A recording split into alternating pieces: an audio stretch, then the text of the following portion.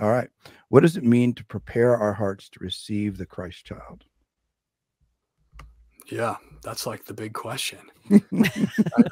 that's great. Well, I've been praying a lot about childhood, spiritual childhood, and like those beautiful passages where Christ talks about, like, unless you turn and become a little child, you will not enter the kingdom of heaven. The kingdom of heaven belongs to such as these. So, whether the, the person who asked that intended to qualify it that way by saying the Christ child, there's something about this this choice of God, like the we, we discern God's preference for silence as we look at the way he chooses to enter into creation. It's a very quiet entrance. It's very respectful of the natural order. God could have just shown up as a fully grown man and just start uh, flipping over tables. But he enters into the created order from the beginning at the level of conception to redeem the whole thing. And his first breathing moments outside of the womb of the Blessed Virgin Mary are quiet, subtle, childlike moments, which evokes in us and reminds us of the the approachability of God. That like I mean everybody's drawn to a child. You know, you see a baby and you just get happy. And there's that's not too small a detail that that God would overlook. Like uh, God chose to first to become an infant to to place himself in this this human form dependent upon the blessed virgin mary and saint joseph but also to invite the adoration of the shepherds and the mm-hmm. adoration of the magi. So we would have the archetypal form of encountering this child. So we need eyes of faith to do that because the child, Jesus, was not recognizably divine.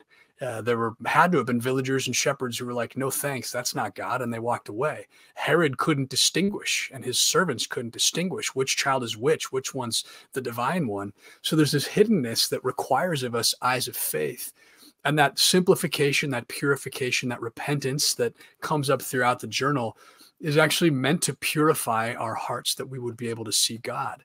So wherever we can uh, become like children uh, and and we can recognize god's choice for quietness hiddenness subtlety and wherever we can let ourselves delight in the small gifts of creation we'll be better attuned to recognize the very same hidden small vulnerable presence of god in the eucharist as much as as well in the hearts of believers and so there's this way of simply thinking about like what does it mean that god became a child and then what does it mean for me to become like a child so that i can also recognize in childlikeness uh, the simplicity of god because god is ultimately simple and yeah. uh, a child yeah. sees things very simply the complex yeah. the grown up the overly mature makes things too complicated and in fact that's often why we miss god is because we've complexified something that's meant to be quite simple Yes, absolutely. And you know what what else um, draws my mind in that question is um, anyone who's held a newborn, there's this sense of awe and silence